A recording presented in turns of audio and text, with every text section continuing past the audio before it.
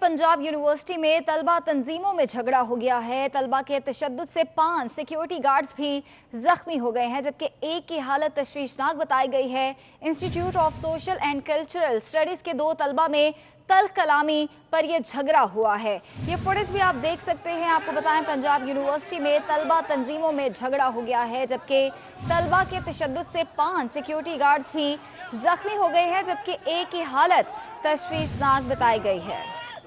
آپ کو بتائیں کہ یہ جھگڑا دو طلبہ میں تلخ کلامی پر ہوا ہے، یہ مناظر بھی آپ دیکھ سکتے ہیں۔ طلبہ آپس میں لڑ رہے ہیں۔ پنجاب یونیورسٹی کے طلبہ تنظیموں میں یہ جھگڑا ہوا ہے اور اس جھگڑے کی وجہ سے اور طلبہ کے تشدد کی وجہ سے پانچ سیکیورٹی گارڈ زخمی ہوئے ہیں، جن میں ایک کی حالت تشویشناک بتائی گئی ہے۔ دو طلبہ کے درمیان تلخ کلامی ہوئی تھی، جس کی وجہ سے یہ جھگڑا شروع ہوا اور میدان جنگ بن گیا، پنجاب یونیورسٹی، اور تشدد سے پانچ سیکیورٹی گارڈز بھی زخمی ہوئے ہیں، جن میں ایک کی حالت تشویشناک بتائی گئی ہے۔ یہ مناظر آپ دیکھ سکتے ہیں کہ لاتوں اور گھونسوں کا آزادانہ استعمال ہو رہا ہے، جبکہ سیکیورٹی گارڈز جو کہ ان کو روکنے کے لیے اس جھگڑے میں داخل ہوئے۔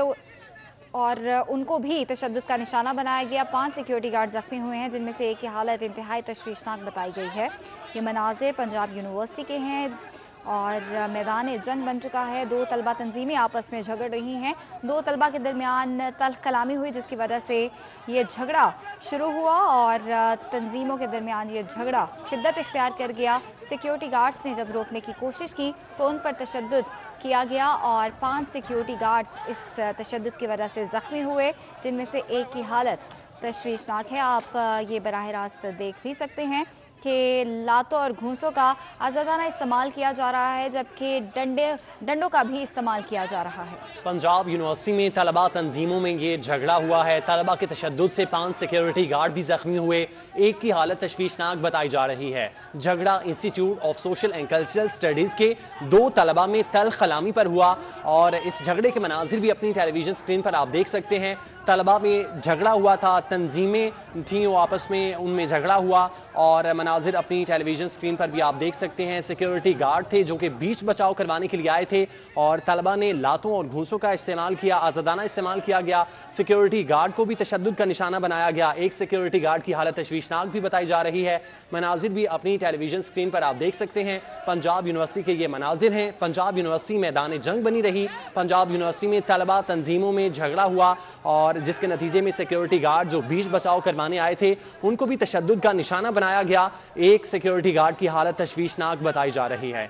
اسی حوالے سے بات کریں گے اکمل سومرو ہمارے ساتھ موجود ہیں۔ اکمل بتائے کہ اس وقت کیا صورتحال ہے وہاں پہ؟ کو بھی کنٹرول میں کر لیا گیا ہے۔ یونیورسٹی میں اس وقت پولیس کی بھاری نفری موجود ہے۔ S P Model Town D S P یہاں پر vice chancellor Punjab university doctor Niaz Ahmed Akhtar کے ساتھ موجود ہیں اور اس وقت اجلاس جاری ہے۔ جس میں وہ طلبہ جنہوں نے اس لڑائی کو شروع کیا تھا، ان کی نشاندہی کر لی گئی ہے اور ان کے نام بھی انتظامیہ کے پاس آ گئے ہیں۔ اب اس اس اجلاس میں یہ فیصلہ کیا جائے گا کہ ان طلبہ کے خلاف کیا کارروائی کرنی ہے۔ میں یہاں پر یہ بتا دوں کہ institute of social and cultural studies سے یہ معاملہ شروع ہوا تھا۔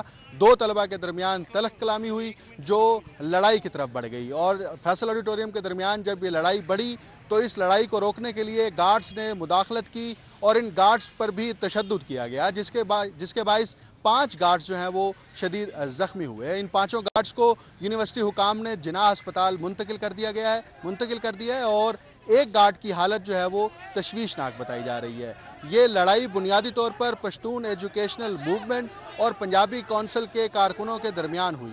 اور یونیورسٹی حکام کا یہ کہنا ہے کہ لڑائی میں ملوث طلبہ کے ساتھ کسی قسم کی رعایت نہیں برتی جائے گی اور ان کے خلاف سخت کارروائی کی جائے گی۔ کیونکہ اس سے پہلے بھی یونیورسٹی میں جب ہنگامہ ہوا تھا تو پچیس طلبہ کے خلاف کارروائی کی گئی تھی اور ان کو کلاسز پڑھنے سے روک دیا گیا تھا۔ ان میں سے چھ کے قریب ایسے طلبہ بھی تھے جن کو یونیورسٹی سے ایکسپیل کر دیا تھا۔